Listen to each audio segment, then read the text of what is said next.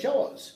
This is our training video for the Allegro from the Sonata for Violin and Piano number 3 by George Frederick Handel, uh, arranged by George Dosch.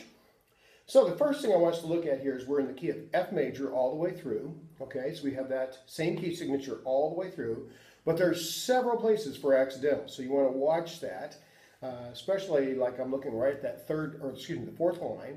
A lot of C sharps jumping in there, so it could be that we jump over to D minor, which is I think is what's going on. All right, at the end of the second line, there's a repeat. Okay, back to beginning, and then there's also a repeat at the very end, back to rehearsal one. Okay, so keep those in mind depending on how you play uh, as an ensemble or as an orchestra. Okay, now at the very beginning, there's a little eighth rest in the pickup notes. That's really important. It'd be easy for us just to kind of blow over that and go, whatever.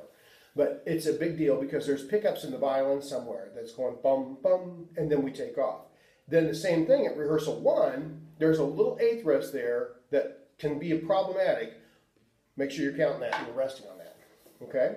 All right, now this piece moves along pretty fast. I'm going to be going slow just to get this under uh, our fingers and get a, a, an idea of what's going on here. So, so here we go. Three and four and one.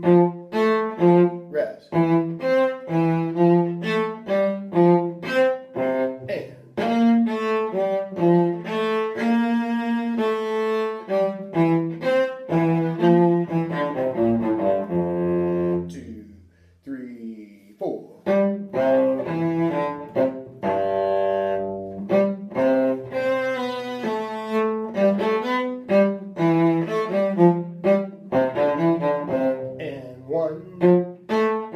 Back to the beginning like that. You notice I counted that, that pickup note in there. All right, now let's fast forward up to rehearsal one. Three and four. Bum.